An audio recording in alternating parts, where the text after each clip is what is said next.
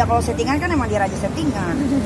Mau apa? Eh, Apa yang mau ditanyain? Dengan kalimat seperti itu jadi kayak mendorong masuk ke mana saya kita kan sahabatan. Ah, gue sih mendingan gak usah punya temen dari punya punya temen nusuk dari belakang ngapain?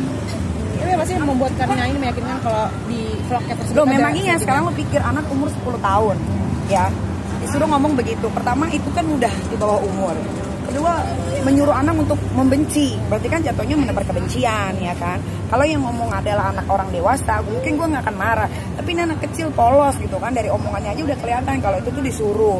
Nah ketiga YouTube itu kan ada eh, edit eh, sistem apa namanya editing dan segala macam. Kenapa itu nggak dihilangin? Kenapa malah dijadiin highlight gitu loh? Itu gue kan bertanya-tanya kenapa lu? Gitu. Kalau Uya kan emang dari dulu kan nggak terlalu akrab sama gue. Kalau kalau dulu kan ya karena kita berteman karena gue satu satu ho, eh, satu program sama dia. Selebihnya gue nggak pernah janjian di luar ngapain segala macam gitu mbak.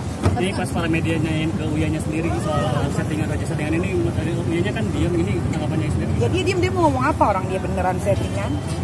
Tapi pernah diajakin juga sama settingan apa? gue mah sering diajakin dia settingan gue sering Nah, juga iya, bantuin dia di program-program dia. Tapi ya gue ngapain lo bawa-bawa nama gue?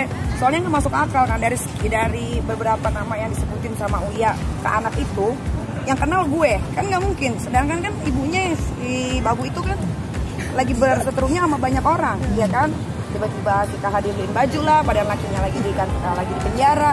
Kedua tiba-tiba ngerebut lakinya Irma Damawangsa lah. Berarti kan nggak bukan gue. Kenapa nama Nikita Mirzani dibilang siapa artis yang paling kamu sebel gitu. Tapi katanya Mulai ya, menurut lo emang gue lagi ngapain? Kan nggak ada ngapa-ngapain. Tapi kata Uya sendiri katanya bersikeras kalau itu katanya hanya apa adanya katanya. ya apa adanya boleh. Misalkan taruh deh itu pure spontan ya uhuy ya. Tapi kan bisa diedit ya kan? Bisa diedit bisa dihilangin. Kenapa lu kenapa lu losin begitu aja? Malah diperjelas lagi sama dia. Heeh. lu manjat-manjat itu. Malah diperjelas. Malah si uyak uyaknya juga ngomong kan oh Nikita Mir kenapa kamu benci sama Nikita Mirzani? Malah diulangin lagi kan gitu. Tapi dengan menyebut nama Nikita Mirzani jadi ini nggak sih kayak Nah maksud gue gini ya, pansos untuk ya pansos lah. Sekarang followersnya juga banyakan gue. Dari channel YouTube-nya aja viewersnya banyakan gue, ya kan? Ya pansos lah. Kalau dibilang pansos ya pansos. Maksud gue gini, gue juga udah negor dia, ya kan? Secara langsung.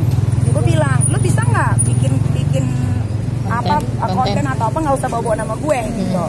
Lu bisa nggak berdiri sendiri tanpa nyebutin nama orang lain? Gak usah gue deh, mungkin orang-orang yang lain juga nggak usah lu sebutin bisa nggak gitu. Tapi reaksinya sendiri gimana ya pas lo gituin? Uyanya gimana? Dia sih nelfon Kak Fitri ya. Tanya aja Kak Fitri sendiri dia ngomong apa. Kenapa makan ini dia nelfonnya lebih ke kenapa nggak, makanya lu tanya sendiri, Uya di sini. Kenapa?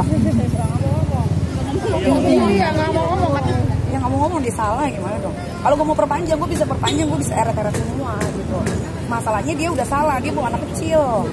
Dari Kenapa nggak diperpanjangnya? Katanya mau Ya gue kan, maksud gue kalau kalau lu nya mau, eh, tapi kan sekarang nama Nikita Mirzani-nya udah hilang. Berarti kan dia memang masih ada etikat baik ya udah. Di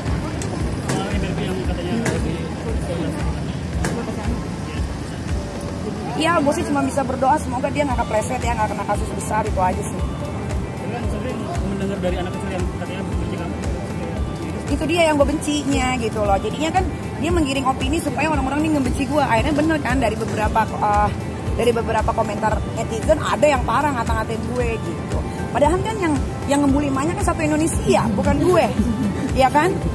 Gara-gara kasus ikan asin kan dia tuh makanya gue bingung gitu.